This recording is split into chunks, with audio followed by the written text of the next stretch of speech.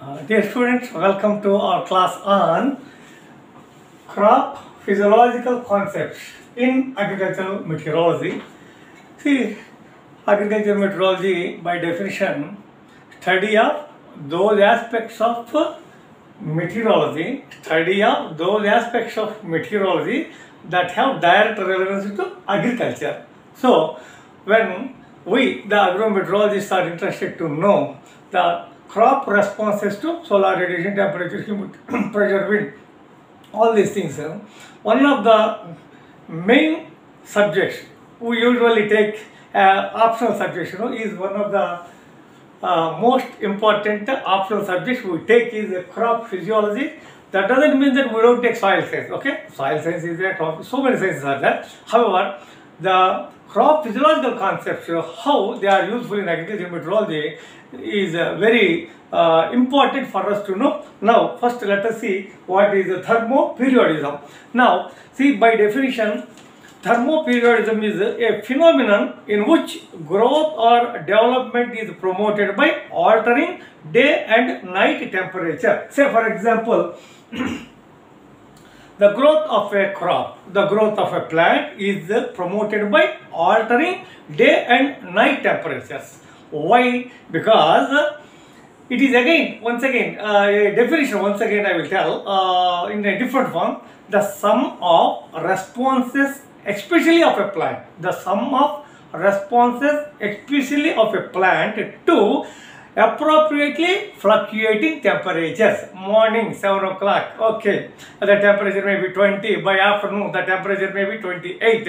By evening, from 28 it reduces to 26. By night, it reduces to say around, uh, say, uh, around 21. By next day, early morning again, it may be plus or minus 1 to 20 degrees centigrade yesterday. Okay like this. So the sum of responses especially of a plant to appropriately fluctuating temperatures is known as thermoperiodism. Thermoperiodism. Now again the response of a crop plant to cycles in temperature fluctuations what are the cycles of day and night? Even during the day there is a possibility for fluctuations in temperature. So here we should understand a term photoperiod the relationship between temperature and plant growth and development involving both day and night temperatures we call it as the thermoperiod. Usually our we the agrometeorologists take a uh, photo period as 24 hours day and night.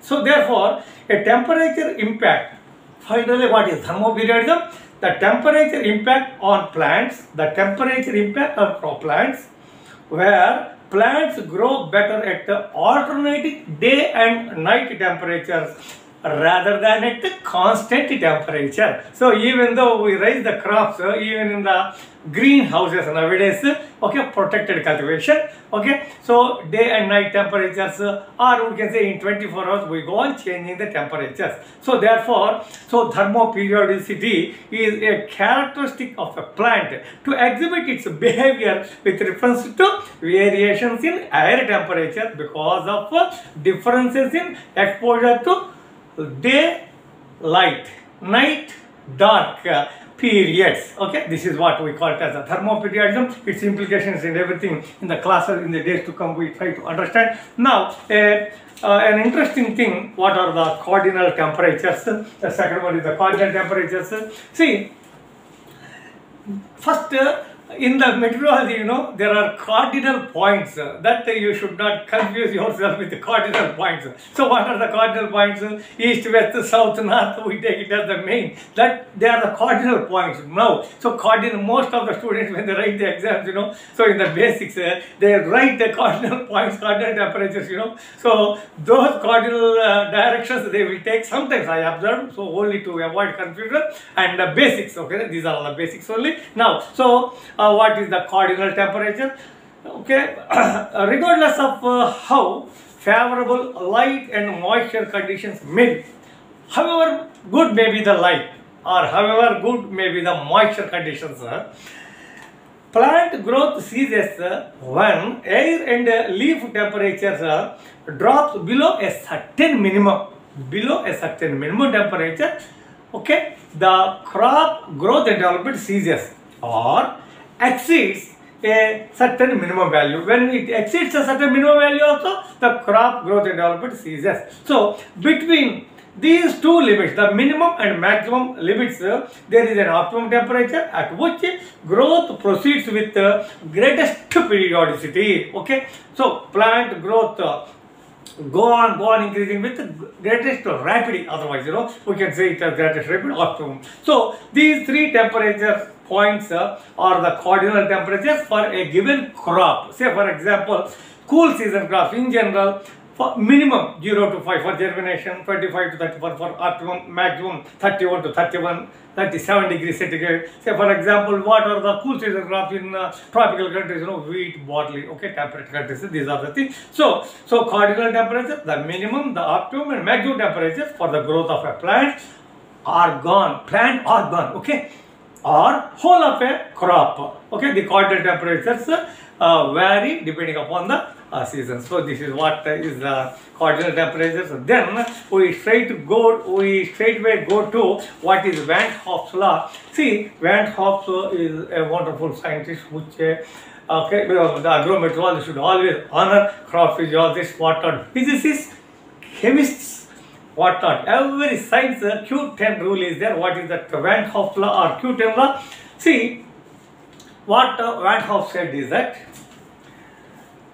the rate of response of uh, a process in a crop plant. Say for example, this you take it as a crop plant. The rate of response of a process. What is the process? Uh, say photosynthesis, dry matter production, respiration, or you can say uh, photo, or what, so enzymatic reactions. What are all these things? Uh, okay, in a crop plant is often doubled or more for each increase of 10 degrees centigrade okay? For every 10 degrees centigrade 0 to 10 10 to 20 20 to 30 30 to 40 however within certain limits okay? The condition is within certain limits. Van Hoff's law once again for your academic interest it is a physical law it is a chemical law it is a it is a crop of physiology law which we apply to agriculture meteorologists. So that's why agriculture meteorologists uh, are supposed to learn everything based on the okay physics and Okay, physics and geography we are the basis of crop physiology. Is how we should understand as agrometeorologist. Once again, for your academic interest, I would like to say that uh, Q10 rule is the only a general rule. It is a general rule. That's what I told. Physicists,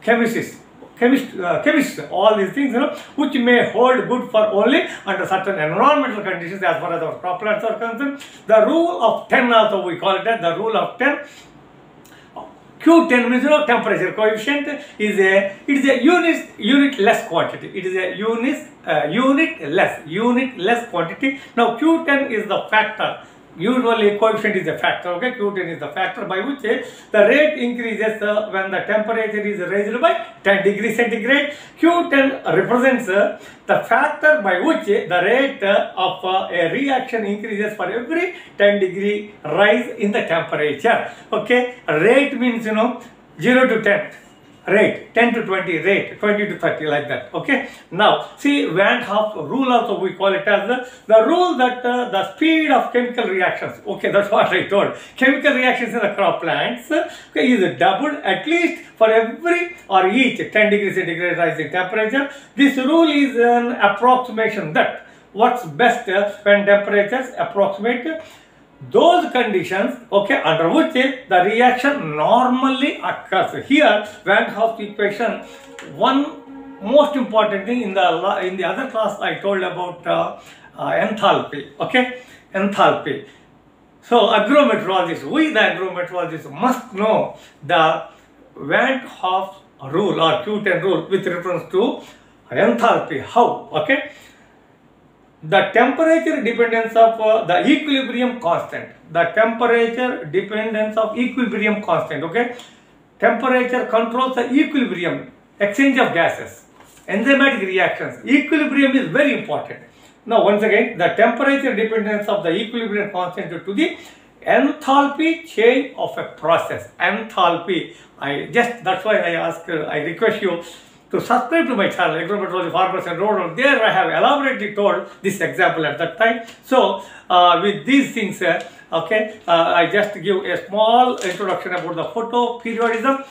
What is the photoperiodism? The photoperiodism is uh, a it is a plant response or capacity to respond to, respond to photoperiod. Okay, photoperiodism means you know a plant response, a, yes, particularly flowering plant usage, a plant response or capacity to respond to photo photoperiod. So, what is the uh, photoperiodism? A phenomenon in which the visible part of the electromagnetic radiation influences the orientation of the shoots of a crop. The photoperiodism is of two types, the positive and the negative. When the shoots turn towards the light on incidence, it is positive photoperiodism and uh, the opposite is the negative photoperiodism. Okay, so what is the long day plants? Day uh, short day plants also we should uh, learn here. A plant which flowers, uh, this is a flowering plant, the plant in which flowering can be induced or enhanced, induced or enhanced by long days. The condition is that uh, the day should have more than at least 12 hours uh, of daylight, for example, barley, potato, all these things. Short day plant, a plant in which flowering can be induced or enhanced by short days, usually of less than 12 hours of daylight. For example, rice, soybean, that is the crop I worked for my okay, uh, PhD. So, during the photosynthesis, water is oxidized and carbon dioxide is reduced. That we know it. Photosynthesis consists of a combination of light requiring reactions. That's what we call the light reactions and non-light requiring reaction that's what we call it the uh, night reactions. So all reactions for the incorporation of CO2 into organic materials.